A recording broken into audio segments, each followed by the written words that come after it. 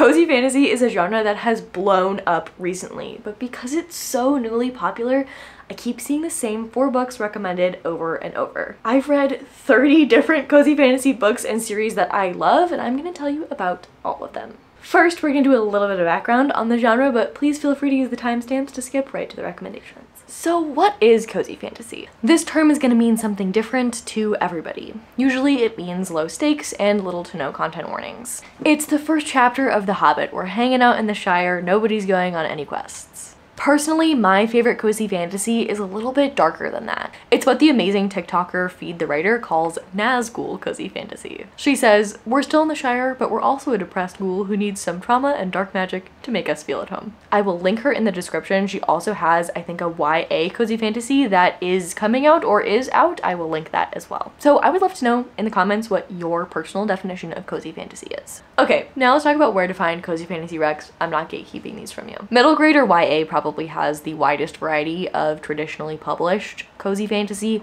because books written for a younger audience tend to have less violence and gore. Hopefully as publishers catch on that we all want more books in this genre, they'll start publishing some adult books as well. Fantasy romance is also a really great place to look since romances can be really sweet and heartwarming. Graphic novels, personally I've had great success with cozy sci-fi and cozy fantasy graphic novels recently. And indie publishing is a fantastic place to look. I love finding authors on TikTok or searching on Amazon because like I said earlier, traditional publishing has kind of just figured out that we all want to buy books in this genre. People have been writing in this genre. Traditional publishing just wasn't ready to publish it until now. So personally, I would love to know, especially if you have recs from indie authors, if you could put those in the comments, I would be so appreciative. And I mean, I'm not gonna stop reading this genre anytime soon, so if you wanna subscribe, I'm sure I'll be talking about a lot of cozy fantasy recs in the future. But seriously, once you find an author that you like, dig through their backlist. Chances are they've written more than one cozy book. Long-term subscribers know that I read at least one T. Kingfisher book a month. Our definitions of cozy fantasy are going to be different, and that's okay. I'll do my best in the recommendations to give you a heads up when things are a little bit darker or more high stakes, but as always, please check content warnings and take care of yourself. On to the books. So you've probably already read Legends and Lattes. It's the quintessential cozy fantasy book. Our hero puts down her sword and opens up a coffee shop in a fantasy world where most people have never heard of coffee. Lots of found family, a little bit of romance, and an adorable mouse baker. If you liked this, I recommend the Tea Dragon Society series. This is an adorable middle grade graphic novel series. There are three of them out so far. I have the first two. In here we have tea dragons who grow leaves or flowers and you can brew those leaves or flowers to make magical tea. The art is beautiful and the messages are as heartwarming as the tea. Or for something with a little bit more plot and action but will still make you weep at how nice everyone is to each other, try Can't Spell Treason Without Tea. We're following two badass women who are in love as they flee their old lives to open up a bookshop that sells tea. This sapphic relationship is everything. Just the way they communicate and talk through disagreements and tough decisions was so heartwarming and healthy. This made my heart so happy and the second book just came out. I have ordered it. It's in the mail on its way to me. It's called A Pirate's Life for Tea. There's a baby griffin named Ponder that I am very excited about. This series has more plot than some people like in their cozy fantasy, but it's just what I wanted because the found family is so strong and this relationship is such a great example about working through tough situations together. For more tea related cozies, you could try my favorite cozy sci-fi ever, which is The Monk and the Robot Duology by Becky Chambers. The first one is A Psalm for the Wild-Built and the second one is A Prayer for the Crown Shy. But this is really one reading experience. We're following a tea monk as they try to figure out what their purpose in life is and also a robot as it attempts to answer the question, what do humans need? I sobbed multiple times reading this. It envisions a post-capitalistic world where our society centers care and I just want to live within the pages of this book. For other things in this same vein of what's my purpose slash cozy career moments, try Garlic and the Vampire and Garlic and the Witch, which is an adorable graphic novel series about an anxious bulb of garlic or join Rosemary on an interspecies crew aboard a spaceship. This has action and plot, things get life-threatening, but it also has next level found family. The way that Becky Chambers writes found family is my absolute favorite thing. I loved watching our characters navigate relationships and understanding different cultures. Everybody made mistakes sometimes, but they were all genuinely just trying to do what was best for everyone else. I'm really excited to continue in this series with A Closed and Common Orbit. Next up, you could try the graphic novel Nimona. Our main character basically adopts a villain because she wants to be his sidekick. It's funny, it's heartwarming, and it plays on the hero villain trope in a way that I really loved. Or watch our main character make dough come to life in A Wizard's Guide to Defensive Baking. T. Kingfisher's middle grade is prime cozy fantasy. It's funny, but still dark, so things do get a little life-threatening. There's a bone horse in here that is so cool, and most of the fighting violence happens with bread, so there's not a lot of gore. Which means it feels a lot more low stakes than some of T. Kingfisher's other stuff. Small Miracles is about the fallen angel of petty temptations, and if you like chocolate, you need to read this book.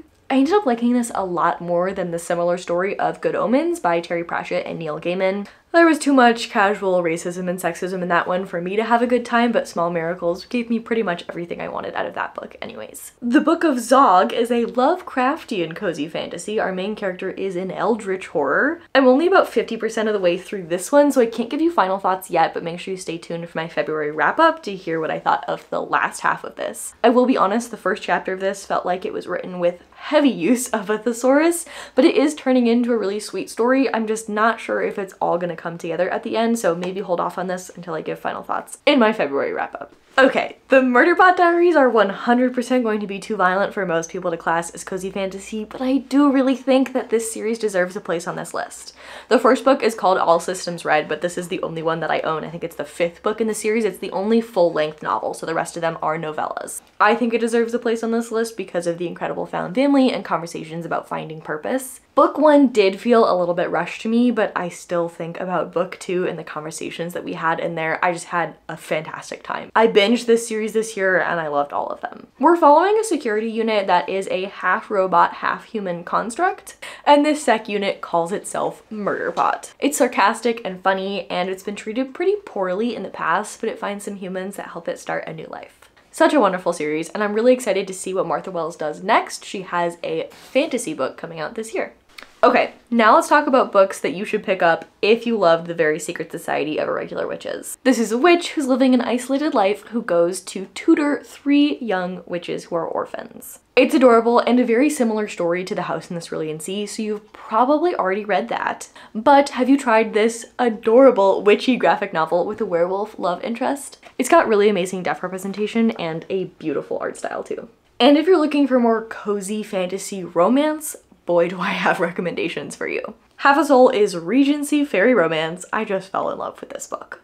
It does have fairies, so the beginning and the end do get dark, but the middle is pure cozy. I'm really excited to pick up the second book in the series, which is about a fairy godfather who has no idea what he's doing. Or may I present to you my favorite author of all time, T. Kingfisher. Her books are pretty dark, but they're so funny and they feel really cozy to me. Probably the most cozy is Swordheart.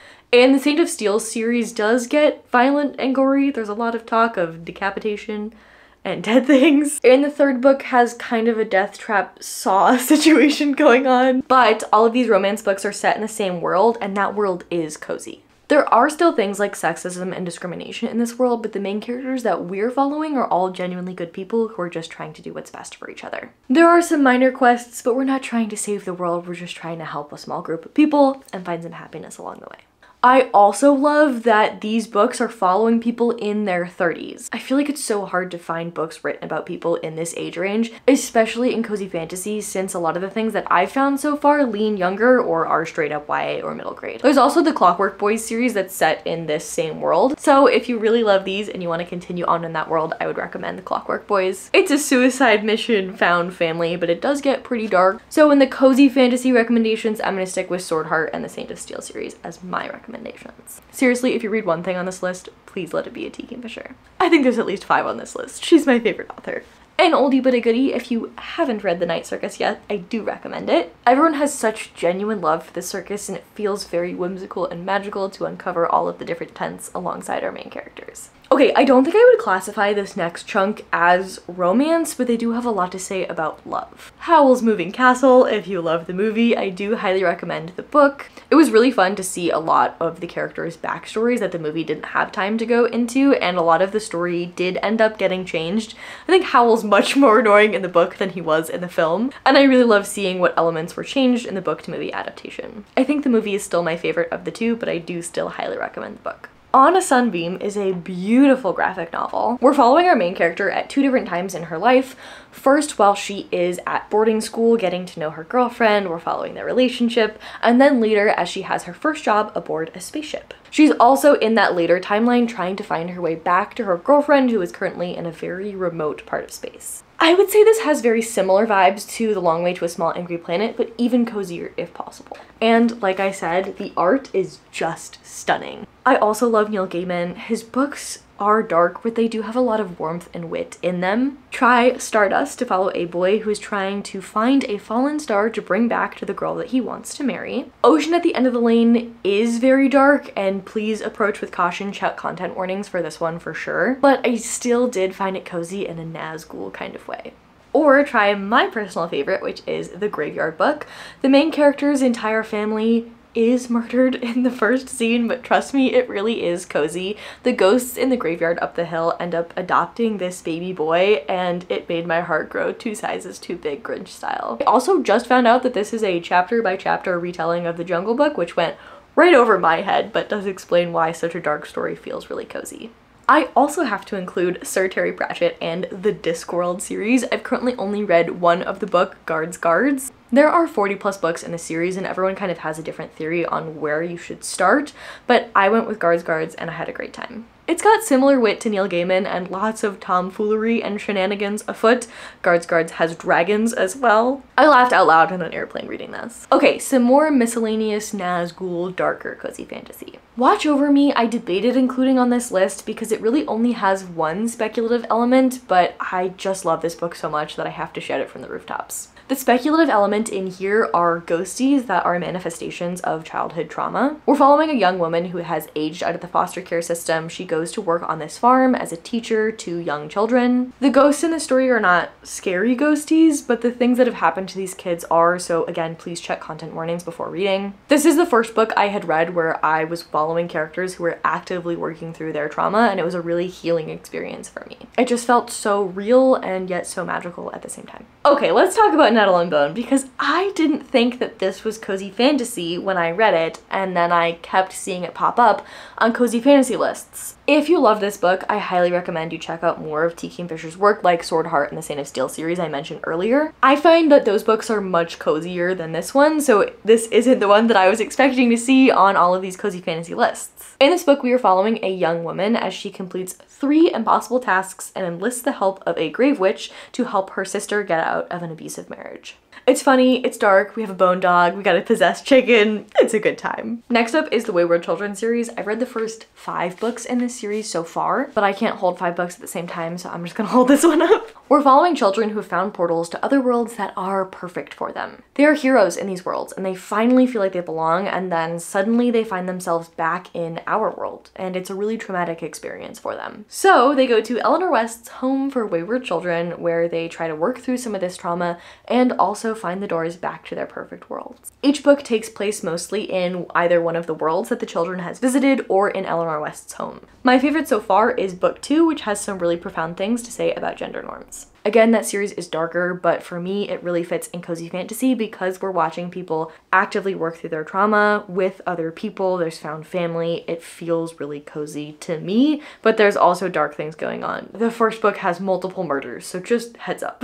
Sheets is a really sweet graphic novel about a girl who is running a laundromat after her mother passes away. We're also following a ghostie who wears a sheet. Both of these characters are trying to come to terms with death and their new normal. They end up running into each other like chaos chaos ensues and a beautiful friendship develops. Okay, a sub sub genre here is like mystery cozy fantasy. I've only just dipped my toe into this, so I would love recommendations for more in the comments. My favorite so far is Elatsoe. Our main character can talk to the ghosts of dead animals and we're trying to solve the murder question mark of her cousin. We're dealing with vampires, we're having conversations about stolen Native American land. It's incredible. Again, this one gets dark, but it does feel cozy. The group that we're following is this amazing friend slash family group, and we also have our ghosty animal companions, primarily a dog named Kirby. The second book I've read in this sub subgenre is Newt's Emerald. It's not my favorite thing I've read, but if you typically read YA, I think this one might be a win for you, especially if you loved the Half a Soul series because it's kind of following a similar vibe. We are hunting for Newt's Emerald, which is this magical stone. It was stolen. We're in Regency, England. Our main character is kind of living a double life because she is dressing up as a man so she can hunt for this stolen emerald and she's also going through her first season coming out in London. There's romance but it is very very chaste so that's why it's in this category and not the romance section. Like I said it sort of feels like a YA half soul. And the rest of these I had no idea where to put so I apologize. The Girl Who Drank the Moon is about this town where every year a baby is sacrificed to appease a witch. And every year a witch finds a baby in the forest and does her best to take care of the baby and find it a loving home. There's some overarching scheming going on here that neither of these groups know about, but we find out about it pretty early on. Mostly, we're following Luna, the girl who drank the moon and became enmagicked. There's a baby dragon, the witch becomes her adoptive grandmother. It's such a beautiful story and it really took me surprise with how much I enjoyed it. Lonely Castle in the Mirror is more magical realism than it is cozy fantasy, but it gives me the same feeling that I get when I read cozy fantasy, so I wanted to include it on this list. We're following a group of students whose mirrors all start glowing. Once they go through the mirrors, they find the Lonely Castle in the Mirror and the Wolf Queen. They need to find a room and a key in order to be granted a wish, but mostly we're kind of just following this group of students and trying to figure out why they specifically have been chosen to come to this lonely castle in the mirror, and why they'd rather be there than at school. Similar vibes to Wayward Children, but less outward fantasy and also less dark. Ultimately, this is a found family friendship story. Okay, these last two are recommendations for things that I would class as regular fantasy, but they do have lower stakes or some cozy elements. For example, Age of Myth. It feels cozy because it pokes fun at itself and primarily we're set in this pastoral village. There are things going on that have stakes and ramifications for the entire world, but mostly we in the story are following this one village. Bonus for Wolf Animal Companion. Or Emily Wilde's Encyclopedia of Fairies.